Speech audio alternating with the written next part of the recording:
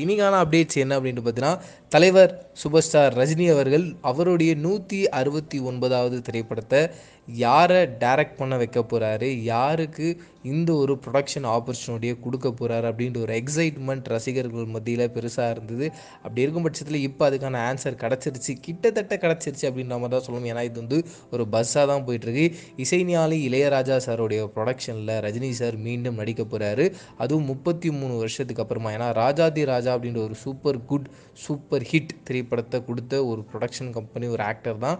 அது வந்து ரஜினி சாருடைய நூற்றி இருபத்தைந்தாவது திரைப்படம். அந்த திரைப்படத்தையுமே வந்து பாவலர் கிரியேஷன்ஸ் தான் வந்து ப்ரொடக்ஷன் பண்ணியிருந்தாங்க.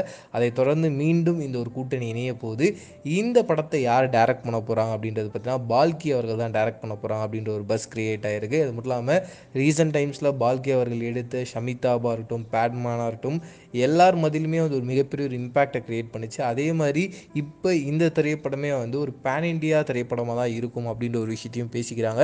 வெயிட் பண்ணி பார்ப்போம். அஃபிஷியலான அனௌன்ஸ்மெண்ட் வர வரைக்கும். அதுக்கு அடுத்தபடியாக நயன்தாரா அவர்கள் லேடி சூப்பர் ஸ்டார் அடுத்து அவங்க என்ன பண்ணிட்டு இருக்காங்க அப்படின்றது பார்த்தீங்கன்னா சிரஞ்சீவி அவர்களோட நடிப்பில் காட்ஃபாதர் அப்படின்னு சொல்லிட்டு தெலுங்குல ஒரு படம் ரெடி ஆகிட்டு இருக்கு. அதில் நயன்தாரா அவர்கள் ரொம்ப இம்பார்ட்டண்ட்டான ஒரு ரோல் பண்ணுறாங்க இந்த காட்ஃபாதர் அப்படின்ற ஒரு படம் மோகன்லால் வந்து மலையாளத்தில் ஒரு படம் பண்ணியிருந்தார் லூசிஃபர்னு சொல்லிட்டு. அந்த படத்துடைய தெலுங்கு ரீமேக் தான் இந்த படம்.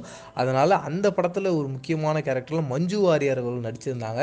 அதே கேரக்டரில் இங்கே தெலுங்கில் வந்து நயன்தாரா அவர்கள் நடிக்க போகிறாங்க அப்படின்ற ஒரு விஷயம் கேள்விப்பட்டிருந்தோம்.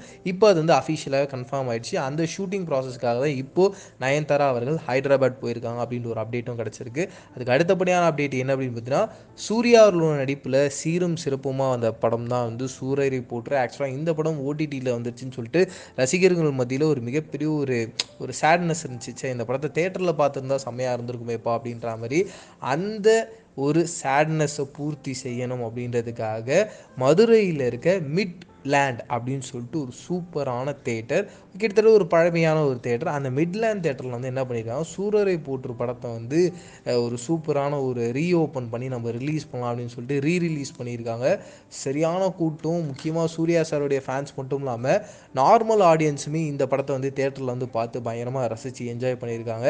அதுக்கு அடுத்தபடியான அப்டேட் என்னன்னு பார்த்தீங்கன்னா சிவகார்த்திகன் அவர்களும் சாய்பள்ளி அவர்களும் சேர்ந்து ஒரு சூப்பரான ஒரு ப்ராஜெக்ட் பண்ண போகிறாங்க அப்படின்ற ஒரு விஷயத்த நம்ம ரிவீல் பண்ணியிருந்தோம். ஆக்சுவலாக வந்து தமிழ் தெலுங்கு ப்ராஜெக்ட் அந்த ப்ராஜெக்டில் அவங்க நடிக்க போகிறாங்களா அப்படின்ற மாதிரி ஒரு கொஸ்டின் மார்க் இருந்தது. இப்போ அஃபிஷியலாகவே கன்ஃபார்ம் பண்ண போகிறாங்க இன்னும் ஒரு சில நாட்களில் அந்த அனௌன்ஸ்மெண்ட்டோடைய அஃபிஷியலான ஒரு சூப்பரான ஒரு கார்டு வரப்போகுது ஆன் போர்டு அப்படின்ற மாதிரி சொல்கிறாங்க வெயிட் பண்ணி பார்ப்போம். அது மட்டும் இல்லாமல் இந்த படத்தோடைய ஷூட்டிங்கும் வந்து கூடிய சீக்கிரம் ஆரம்பிக்க போகுது அப்படின்ற ஒரு விஷயத்த சொல்கிறாங்க அதுக்கான அனௌன்ஸ்மெண்ட்டும் நம்ம வெயிட் பண்ணி பார்ப்போம் அஃபிஷியலாக வர வரைக்கும். அதுக்கு அடுத்தபடியாக இன்னொரு ஒரு அப்டேட் என்ன அப்படின்றத பார்த்தீங்கன்னா உங்கள் எல்லாருக்குமே தெரியும். மருதநாயகம் அப்படின்ற ஒரு திரைப்படம். ஒரு பயங்கரமான ஒரு திரைப்படம். ஒரு மிகப்பெரிய ஒரு எக்ஸ்பெக்டேஷனில் இப்போ வரைக்கும் இருக்க ஒரு திரைப்படம்.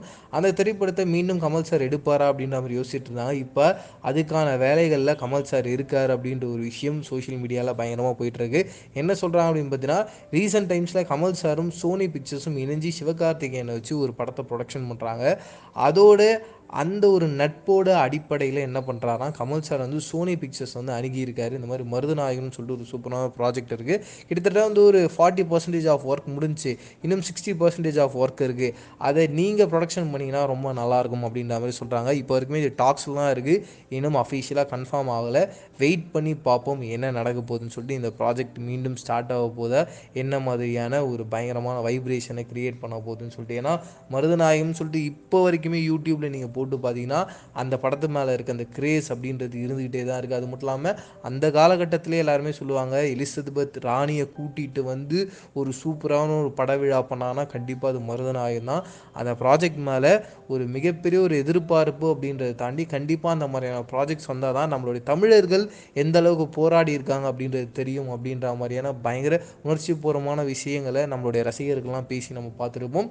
நீங்கள் அந்த மாதிரி எந்த ஒரு படம் ரிலீஸ் செஞ்சால் செம்மையாக இருக்கும்னு சொல்லிட்டு ஒரு தாட்டில் இருக்கும்ல? ஒரு பெரிய லிஸ்ட்டே இருக்கும். இதெல்லாம் வந்து இன்னும் நம்ம பார்க்கல அப்படின்ற ஒரு மிகப்பெரிய ஒரு வருத்தத்தில் இருப்போம். அந்த மாதிரி நீங்கள் மிஸ் பண்ண திரைப்படம் எது? இது ரிலீஸ் ஆனால் நல்லா இருக்கும் அப்படின்ற மாதிரி யோசிச்சுட்டு இருக்க திரைப்படம் எது? அதை பற்றின ஒரு சூப்பரான ஒரு டைட்டிலோ இல்லை நீங்களே வந்து இந்த ஒரு காம்பினேஷன் நல்லா இருந்தால் இந்த மாதிரியான ஒரு காம்பினேஷனில் ஒரு படம் பண்ணால் நல்லாயிருக்கும் அப்படின்ற மாதிரி ஒரு தாட் இருக்கும். அந்த மாதிரியான விஷயங்களை கீழே இருக்க காமெண்ட் செக்ஷனோடய ஷேர் பண்ணிக்கோங்க. இதே மாதிரி சூப்பரான அடுத்த வீடியோவில் சந்திக்கிறேன். அது வரைக்கும் டடாவை பாய் நான் பிரவீன் கேஎஸ் பாய்